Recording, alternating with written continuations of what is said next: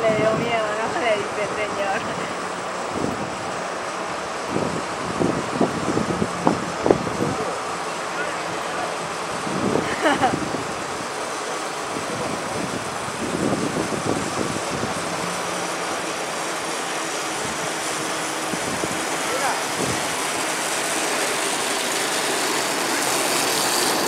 Ya. Pues.